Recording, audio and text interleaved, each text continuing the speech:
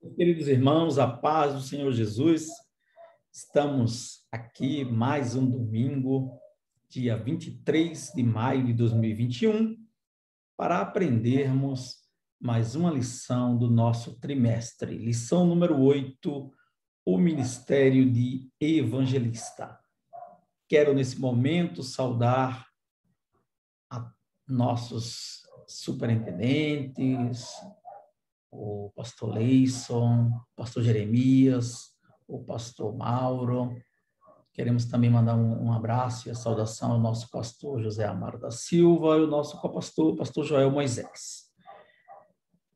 Vamos para o nosso texto áureo. O texto áureo encontra-se em 2 Timóteo, capítulo 4, versículo 5. Mas tu se sóbrio em tudo e sofre as aflições, faz a obra de um evangelista, cumpre o teu ministério. A verdade prática diz o seguinte: o evangelista proclama o pleno evangelho de Cristo com ousadia. É um arauto de Deus no mundo. O arauto é aquele que anuncia algo. E o arauto de Deus no mundo, ele anuncia o Evangelho de Jesus Cristo.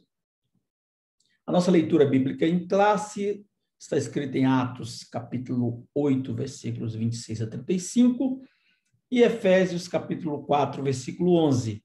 Nós não vamos ler para ganharmos tempo, você faz a leitura aí em sua casa.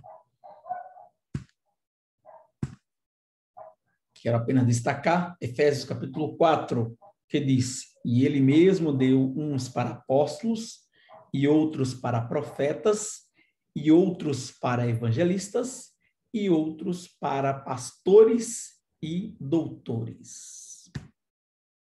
O que é o objetivo geral da nossa lição de hoje é mostrar a singularidade do ministério do evangelista na vida da igreja e tem como objetivos específicos. Primeiro, abordar a respeito do envio dos 70. Segundo, refletir sobre a tarefa inacabada da grande comissão. E terceiro, indicar o papel do evangelista no Novo Testamento. Vamos para a nossa introdução. O ministério de evangelista é dado por Deus à igreja como um dom valioso por isso, o estudaremos procurando vislumbrar como o Senhor Jesus o considerou e como esse dom ministerial né, ele é concedido por Deus, né, e é tratado e como é que ele é tratado no Novo Testamento, bem como sua destacada operação nas igrejas de Corinto. Nós temos de observar, né? E que Jesus ele deu a ordem para pregar o evangelho em sua multiforme sabedoria. Deus dispõe para a igreja o poder necessário para proclamar o evangelho com ousadia. O cristão, ele tem que ter ousadia para falar de Jesus. O nosso tópico de número um, ele fala justamente o seguinte: Jesus envia os 70. Lucas capítulo 10, versículos 1 a 20. São poucos os que anunciam. Quando Jesus enviou os 70 para anunciar as boas novas do reino de Deus na região da Galileia, ele asseverou: grande é em verdade a seara, mas são poucos os obreiros. Grande é em verdade a seara, mas são poucos os obreiros. E isso é uma verdade até hoje. Nós temos essa dificuldade nós temos esse problema também em nossas igrejas com relação à pregação do evangelho. São poucos porque, primeiramente, os discípulos não podem proclamar a si mesmos ou uma mensagem própria.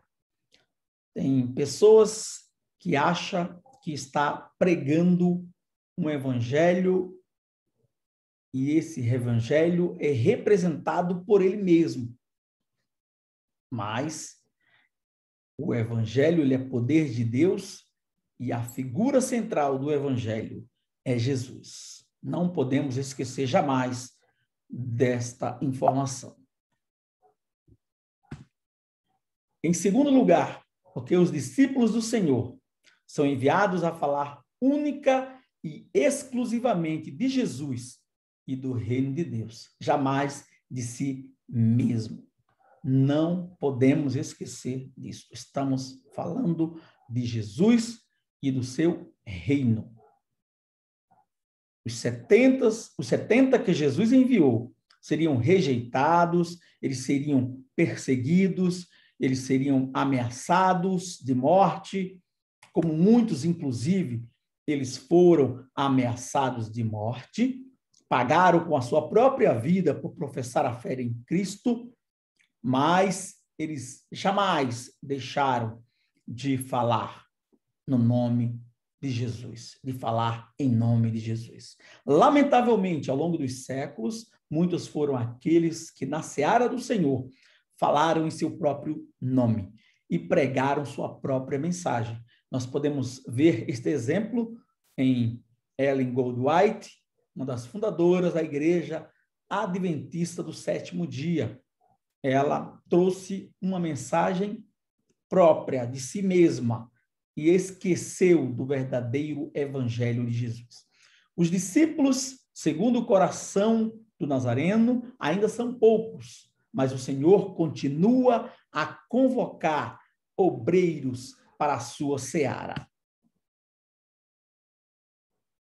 É importante observar que o cristão, quando ele é enviado, e na missão de 70 nós vemos isso, eles foram enviados para o meio de lobos e proclamar, proclamar o evangelho no mundo contrário à mensagem do reino de Deus, certamente levaria os arautos de Cristo a serem perseguidos. Os 70 que Jesus enviou seriam rejeitados, perseguidos e até ameaçados de morte, como nós falamos. E hoje nós temos também essa situação acontecendo até o dia de hoje no mundo. A história da igreja nos mostra que, que pessoas pagaram com a vida por professar a fé em Cristo. Não podemos esquecer do exemplo de Estevão, que foi apedrejado justamente porque ele pregava ao, a Jesus Cristo Nazareno, que morreu, mas ressuscitou, e ao, ter, ao terceiro dia ressuscitou, e hoje está à direita de Deus. Nas últimas décadas, mais cristãos foram mortos no, no mundo em qualquer do que em qualquer outra época da história da igreja. Mais de 250 milhões de cristãos foram perseguidos no mundo em 2019.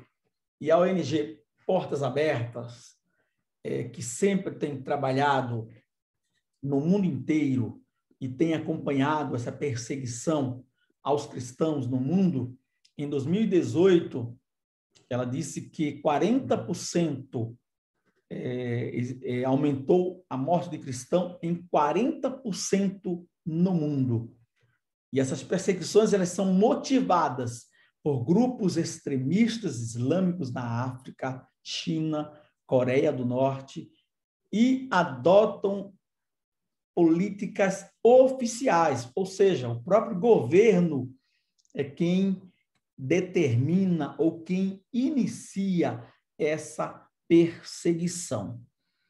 E é por isso que podemos dizer que eles são comparados, esses cristãos, eles são comparados a cordeiros que se dirigem para o meio de lobos. Os verdadeiros evangelistas, enfrentarão ainda muitas perseguições, sobretudo em países dominados por religiões anticristãs e fundamentalistas. Se você observar este mapa que nós colocamos aí, ele fala de cristãos que estão a cor vermelha aí. São esses países onde existe perseguição aos cristãos. Nesta cor laranja, é, onde existe discriminação. E essas setinhas que você está vendo aí, ela mostra onde a setinha para cima melhorou, aquela que está um tracinho apenas, a situação manteve-se, ou seja, está do mesmo jeito, não houve alteração, e a setinha para baixo mostra que a situação piorou. Então, essa é a situação de cristãos no mundo inteiro, países com violações significativas da liberdade religiosa. Nós temos que dar graças a Deus, agradecer a Ele, porque no Brasil nós não temos essa perseguição ferrenha às igrejas. Isso poderá acontecer um dia, só Deus sabe. Mas no momento nós não temos, é por isso que temos que aproveitar e sermos arautos de Cristo para pregar o evangelho a todos aqueles que necessitam conhecer a Jesus. No nosso país existem muitas pessoas que não conhecem a Cristo, que nunca ouviram falar de Jesus. Você pode até perguntar, mas será que existem em nosso país pessoas que não conhecem o evangelho de Jesus, que nunca ouviram falar de Jesus? Pasmem. Infelizmente, existem essas pessoas que não conhecem ou que nunca ouviram falar de Jesus. Temos que despertar para pregar o evangelho a essas pessoas que necessitam ouvir a voz ou a sua voz, que é a voz da esperança, e essa esperança é Jesus. Como havia falado, eles são comparados a cordeiros que se dirigem para o meio dos lobos. Imagina um cordeiro no meio de lobos. Os lobos querem fazer o quê? Querem devorar este cordeiro. Os sinais e as maravilhas confirmam a palavra de Deus.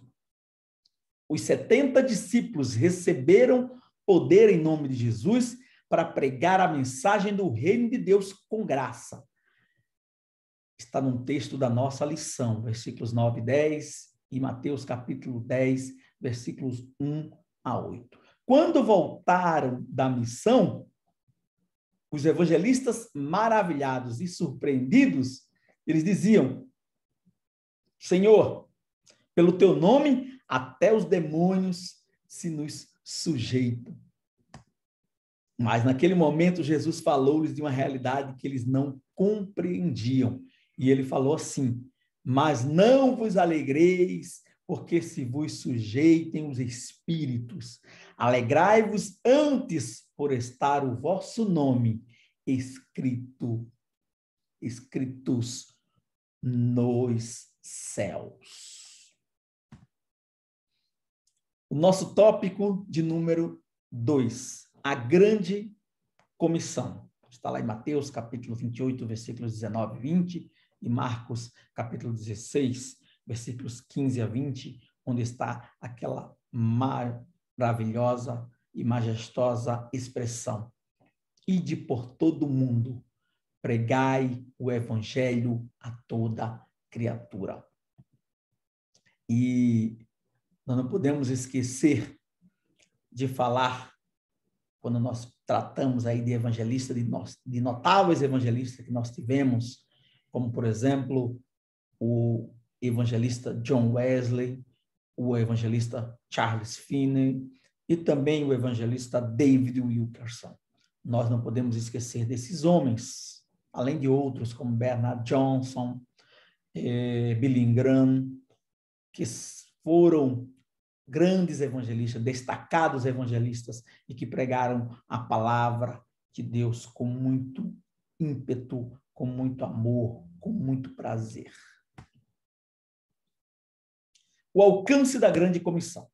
A ordem dada por Jesus aos seus discípulos após a sua ressurreição foi: Ide, ensinai todas as nações, batizando-as em nome do Pai, e do Filho e do Espírito Santo, ensinando-as a guardar todas as coisas que vos tenho mandado.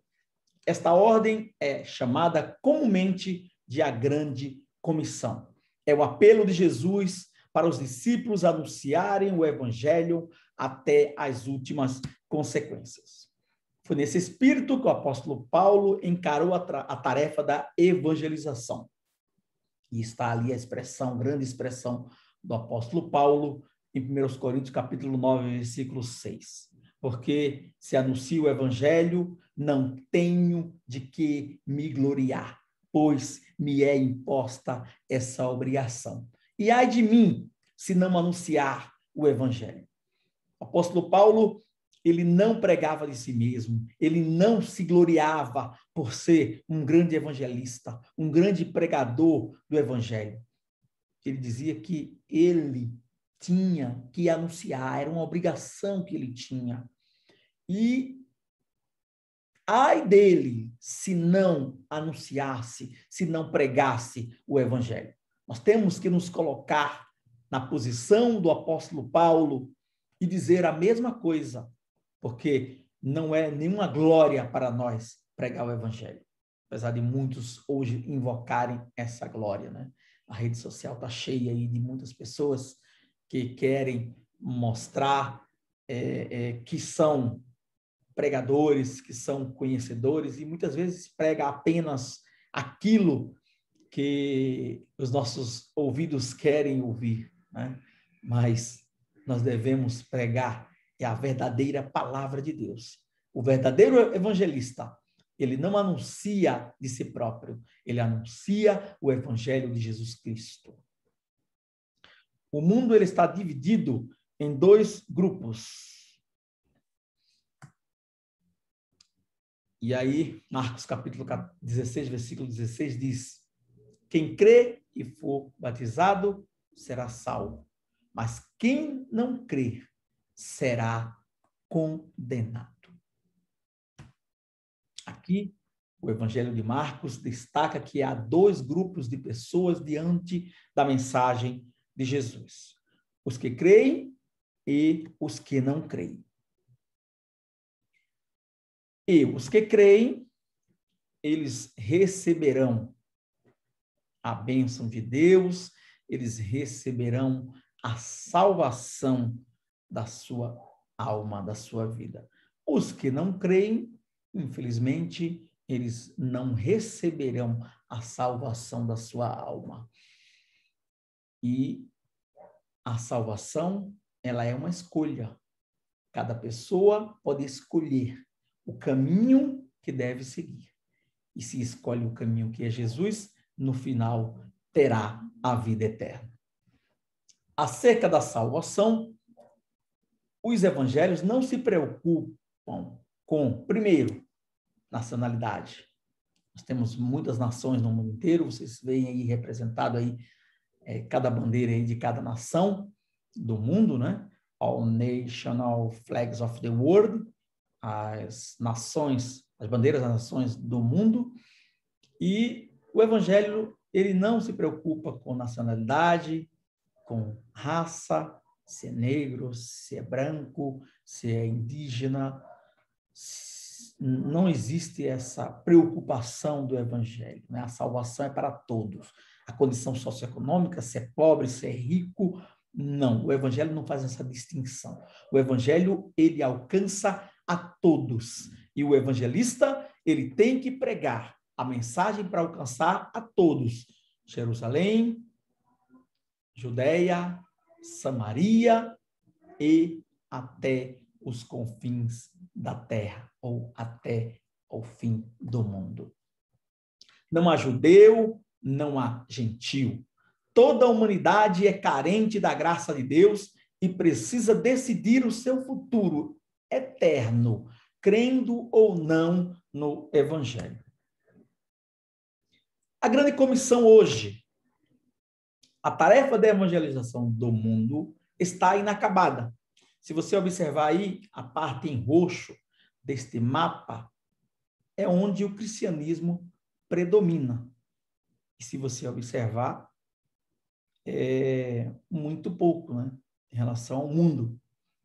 Mas você vê aí a parte verde, é a parte onde o islamismo domina. A parte amarela é onde o budismo domina. A parte azul é onde o, juda, o judaísmo ele domina. Quase não dá nem para ver no mapa. Ah, e aí vem o hinduísmo, as religiões chinesa, as religiões coreana e outras religiões. E é importante observar que apenas 33% da população mundial é composta por cristão das várias confissões de fé. E quando a gente fala que cristão, é, não é simples, somente os evangélicos, né? os considerados evangélicos. Cristão, aquele que professa a Cristo. Tá? É bem importante observar isso. Há regiões em que o número de cristãos está diminuindo, como na Europa. Recentemente, na Alemanha, cerca de 340 igrejas fecharam as portas. As igrejas fecham suas portas na Alemanha. Inúmeras igrejas podem ter suas portas fechadas para sempre na Alemanha. Motivos: cada, menos, cada vez menos fiéis comparecem às missas e falta dinheiro às dioceses. E aí nós estamos falando de cristãos, né? não somente evangélicos, não somente protestantes. Nós temos aí católicos também nesse número, né? É bom frisar isso. Em Portugal, quase 300 igrejas. Saída de brasileiro de Portugal fecha 700 templos evangélicos. Estava conversando com um missionário que está na Europa e ele fala exatamente isso. As igrejas estão vazias. Os crentes não estão indo às igrejas. A frieza espiritual tem sido muito grande na Europa. E muitos cristãos já não vão mais à igreja, são chamados desigrejados. E esse movimento não está somente na Alemanha, na Europa, em Portugal, Alemanha, Europa, Portugal, Europa, não está somente lá, está também nos Estados Unidos, onde, mesmo sendo um país protestante, muitas igrejas também têm fechado suas portas. Tem muitos crentes não têm ido às igrejas. E no nosso país também, nós vemos aqui no Brasil, apesar de o movimento evangélico ser muito forte, ser muito grande, estima-se que tem, temos aí 50 milhões de evangélicos aí no Brasil, aproximadamente, mas existem muitos que se declaram evangélicos e que também não vão à igreja, assim como católicos no nosso país, que se declaram católico e não vão à igreja. A Holanda e a Inglaterra são países considerados pós-cristãos. E aí o, o, o texto é rumo a uma Europa pós-religiosa. A maioria dos jovens não segue nenhuma religião. O percentual ultrapassa 70% em vários países. Nas nações nórdicas, muçulmanos já superam católicos. E isso é uma verdade. Isso torna uma verdade no mundo inteiro. Na Europa, cerca de 1.500 templos foram transformados em restaurantes e mesquitas, bibliotecas, casas de show. E é uma tristeza, mas é uma realidade. Eu estava justamente conversando com esse missionário e ele fala exatamente isso. Fecha-se os templos e abre-se casas, casas de shows deveria ser o contrário. Era fecha-se casas de shows, abre-se templos. Infelizmente, tem acontecido o contrário. O missionário que eu falo é o pastor Abimael, que está na Europa é, como missionário já há muitos anos. Acredito que já há mais de 10 anos que ele está na Europa. E, infelizmente, nós vemos muitas igrejas fechando. E ele fala disso. Se você tiver contato com ele, quiser o contato dele me procure, que ele vai te falar isso. Como estão as igrejas na Europa? Infelizmente, estão fechando.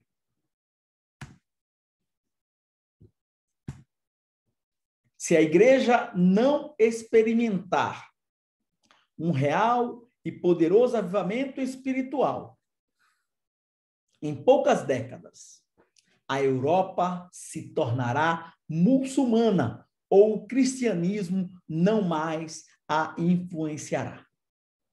Isso é uma realidade. A França, por exemplo, a, já, já se tem dados de que falam que a França, é, o número de, de, de, de muçulmanos na França é muito grande. Precisamos reevangelizar o continente europeu. E nós sabemos que o continente europeu tem muitos países católicos de berço. Infelizmente, o islamismo tem tomado conta da Europa. Tópico 3. O dom ministerial de evangelista. O conceito de evangelista. O que significa a palavra evangelista? A palavra evangelista, ela deriva do grego evangelizo, isto é, transmitir boas novas. E que boas novas são essas? Boas novas do evangelho. Como dom, refere-se àquele que é chamado para pregar o evangelho. Foi concedido pelo Pai através de uma capacitação ministerial, objetivando propagar o evangelho de Cristo para toda a humanidade. Esmera-se por buscar da parte de Deus mensagens inspiradas para tocar os corações e quebrantar a alma dos pecadores. E o mundo pede socorro. O evangelho de Cristo é para toda a humanidade. O evangelismo, ou o evangelista, melhor dizendo, tem paixão pela salvação dos perdidos. Lembro-me do meu avô, quando ele, mesmo sendo analfabeto, meu avô nem sequer sabia escrever o nome, mas ele tinha paixão por pregar o evangelho. Ele não, não perdia uma oportunidade de encontrar com uma pessoa, seja onde for, na rua, no ônibus, é, no comércio. Ele saía para vender alguns produtos como é, é, mandioca, batata, doce e até alguns legumes.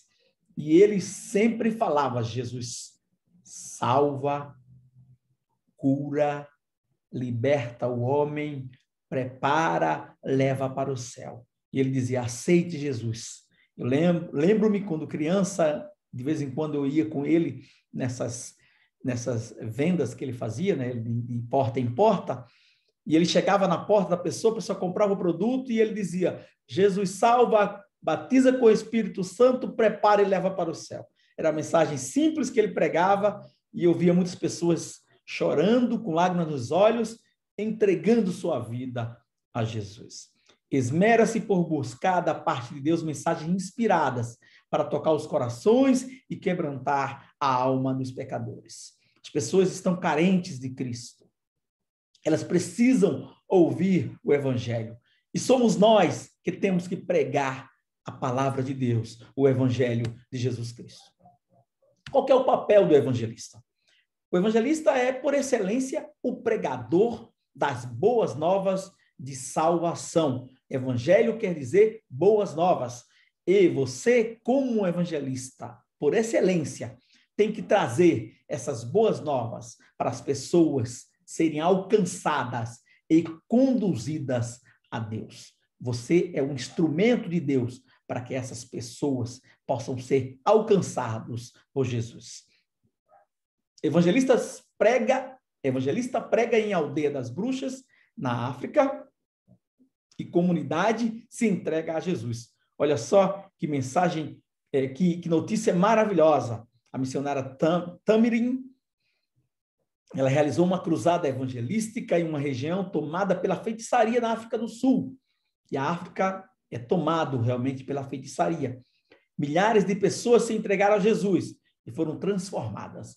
O missionário pastor Eliel Gomes, que vocês conhecem bem, e que é um missionário mantido pela Igreja de Osasco, pela Secretaria de Missões, a Semeado, ele fala em alguns testemunhos dele, e até mesmo você conversando com ele pessoalmente, ele fala de muita, muita comunidade, onde existem muitos bruxos, e eles são, inclusive, consultados pelo povo, faz muita feitiçaria, mas o evangelho tem chegado nesse local, e Deus tem salvo muita gente. Jesus Cristo tem alcançado, a palavra de Deus tem alcançado, é, tem alcançado muitas pessoas, muitas almas, muitas vidas nesses lugares.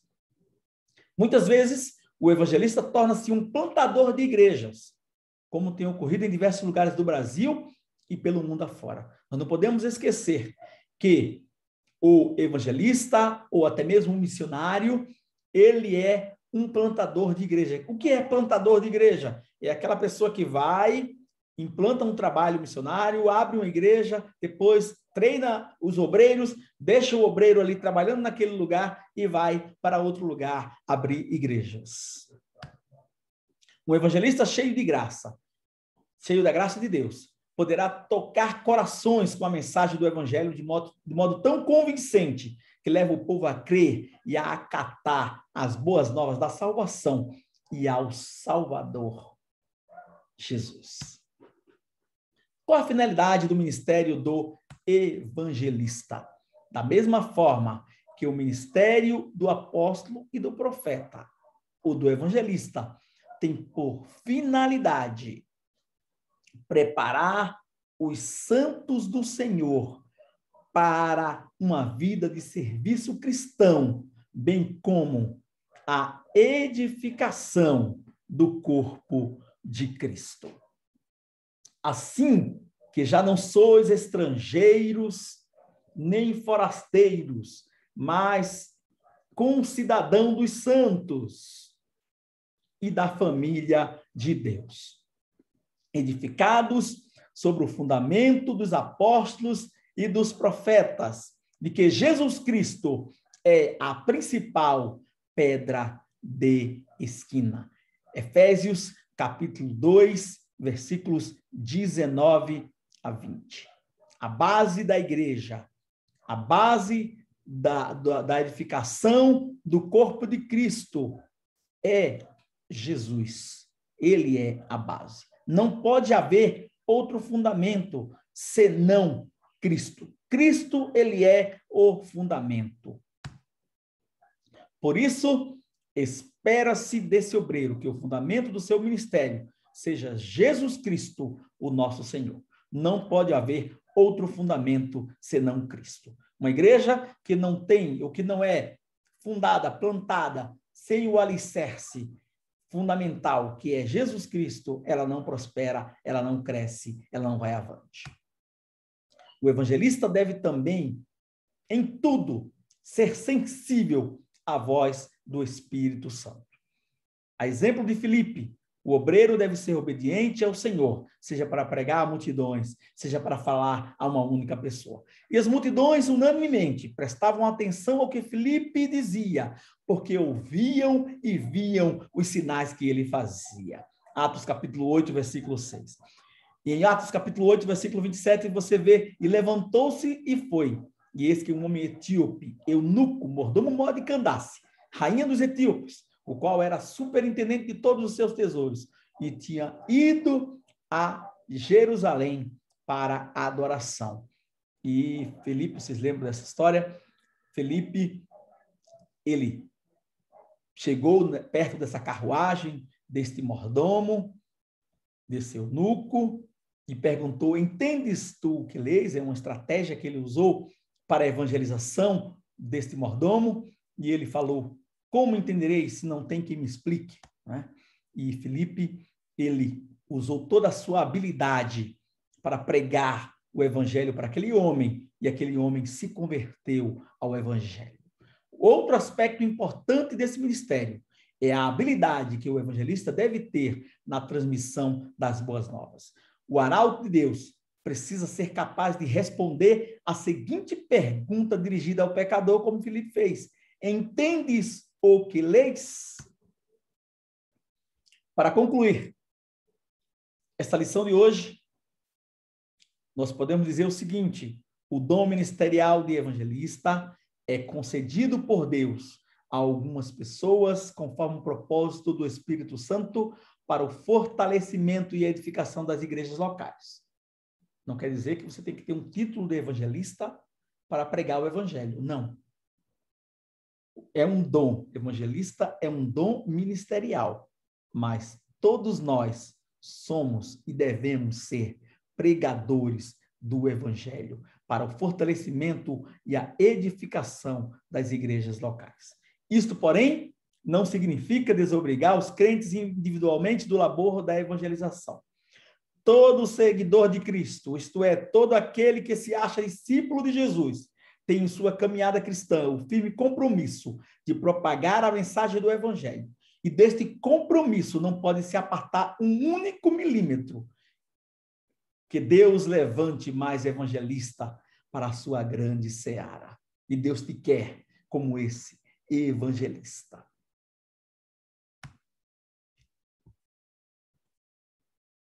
Nós temos aí o nosso questionário da lição. Segunda lição, pergunta número um. Segunda lição, qual a consequência para quem proclama o evangelho no mundo contrário ao reino de Deus? Qual é resposta? Os arautos de Cristo serão perseguidos.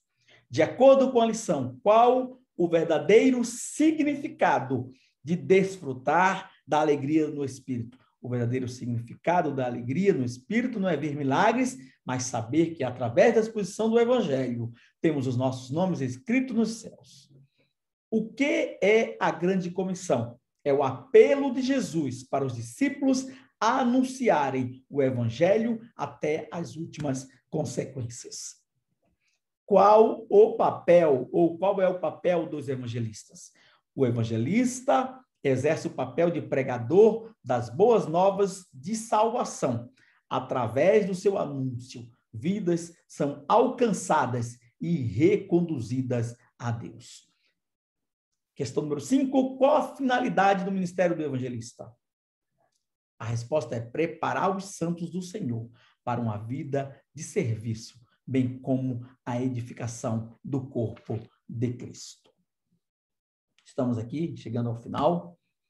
Que Deus abençoe a sua vida, que você tenha uma excelente semana.